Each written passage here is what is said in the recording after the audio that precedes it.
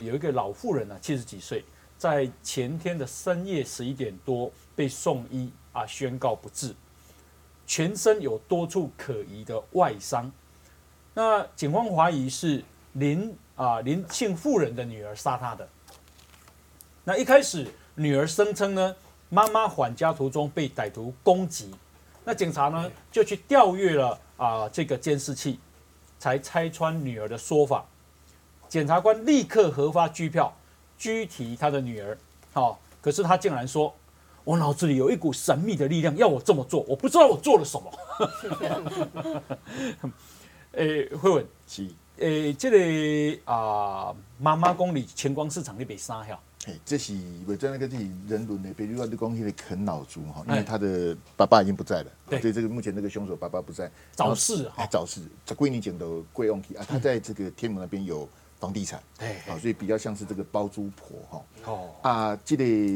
这个现在这个凶手已经被收押，但是没有进监啊，就是说检察官认认为这个法官认为这个案件相对是单纯的，嗯。啊，不怕他串证，就没有进监之后把他把他收押起来哈。那因为他有绿卡，嗯，这个女生在这个以前在美国念书哈，她有绿卡。那去年在美国住了五个月，好，所以这个法官说，哎你这样可能会逃亡啊，哈，就把他收押起来哈。那一开始他跟这个报案的人是他，嗯，好，一一个跟有黑衣人啊，把妈妈送回来，然后全身是伤，这样的头部跟身体都有外伤。他一九是他打的，嗯好，所以这样一个这个部分对他将来的那个那个官司是有帮助的。哦哦，就是说他可能这个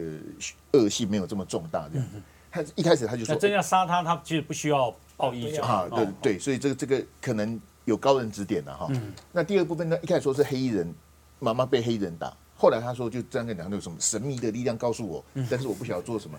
这个可能也是高人指点，哦哎，这个将来可以去做精神鉴定，嗯哦，那也有减刑的这个这个可能。那第三就是说他那个因为要解剖，哦，已经排了解剖，就是他他不是那种，比如说拿枪啊，好、拿那个刀什么的，这种到底是故意还是过失？所以这个可也有可能会再减刑。好嗯嗯所以我我我觉得这个案子看起来对我们社会记者来讲看起来非常的这个奇怪啊，非常奇怪，因为这这那那出力刚呢。因为我们尊亲属，我们白长尊亲属是爸爸妈妈跟祖父祖母，这个叫做尊亲属。嗯，他这个刑度就是死刑或无期徒刑。哎好，那现在判死刑的可能性不高。好，待会我再补充别的案例，死刑的状况不高，可能就是无期徒刑，然后再减刑。嗯嗯，好，所以这个案子可能是判的，哎，你到加建什么款？就是第天母东路会变成一般的公寓啊，但是那个地价那那个房价很高啊啊，还有一些包租的东西，因为这个晴光市场的服饰业，我的了解了哈，呃。有不错的客源，但是没有说很好，好，所以我研判他的这个讲，因为他是啃老族嘛，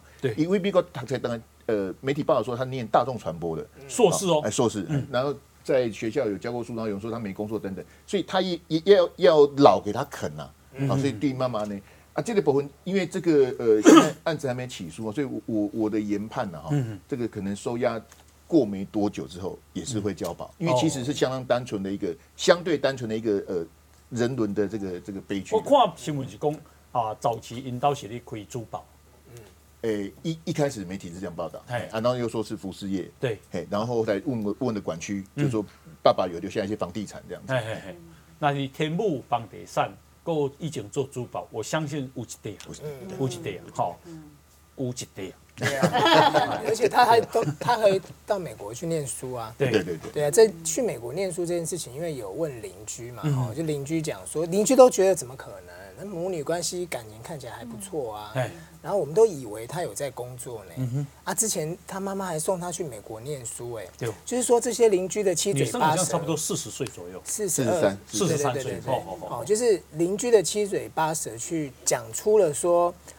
他们家家境应该是不错的，因为他可以送女儿去念书对嘛。对啊，那妈妈可能爱面子，所以都有告诉邻居说啊，他有在教书啊，他有在上班啊。哦，所以，所以想都没想到说，他真的有在教书上班吗？